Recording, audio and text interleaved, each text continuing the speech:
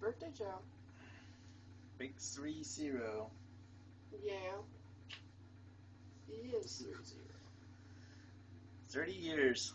Thanks to all my Facebook friends that uh, sent me messages. And, Does that mean you're getting uh, old now?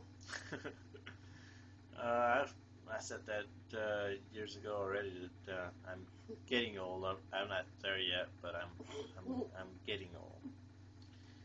I thought I seen a few gray hairs. Yeah, I know that. But uh, also, 21 years ago, the Berlin Wall came down. Today, 21 years ago.